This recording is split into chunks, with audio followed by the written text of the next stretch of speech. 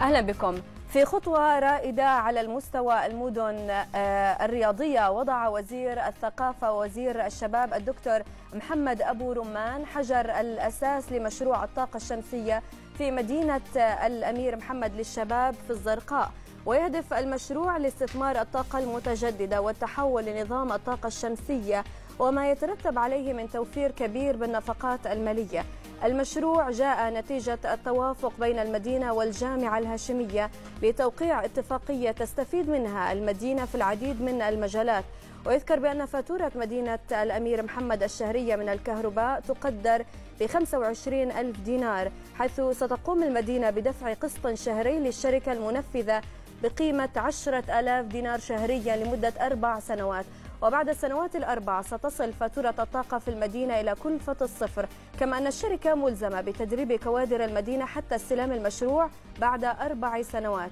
بدوره قال رئيس مجلس محافظة الزرقاء الدكتور أحمد عليمات أن الهدف من المدن الرياضية هو تعزيز الثقافة المجتمعية وتلبية حاجات القطاع الشبابي وتلبية نشاطاتهم الثقافية والشبابية. الرياضية هي نعم هي حاضنة للأنشطة الرياضية وبمختلف أنواعها مثلا كرة القدم في عندنا استاد في حتى الألعاب الرياضية المختلفة الصالات الألعاب حتى الفرق الشعبية بتيجي هون في عندنا ملعب خماسي في في المدينة.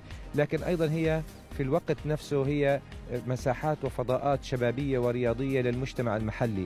ومن المفترض إنه تستقطب المجتمع المحلي وتستقطب جيل الشباب لتكون بالفعل مثل ما تحدث الإخوان هنا في المجتمع المحلي ملاذ للشباب والعائلات والجميع وتستقطب هذه الأمور بمختلف أنواع. الرياضات ومختلف أنواع الأنشطة الثقافية. مدينة الأمير محمد كانت فاتورتنا الشهرية تقريبا ما بين 25 إلى 30 ألف دينار. تم طرح العطاء من قبل وزارة الأشغال العامة والإسكان. قيمة المشروع حوالي نصف مليون دينار.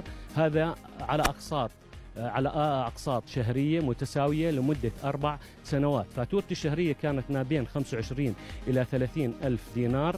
الشركة ملزمة في الصيانة والتشغيل لمدة أربع سنوات وملزمة بتدريب كادر المدينة. خلال أربع سنوات هاي راح تكون الشركة هي مالك المشروع ومن ثم تسلم إلى المالك الأصلي اللي هو مدينة الأمير محمد.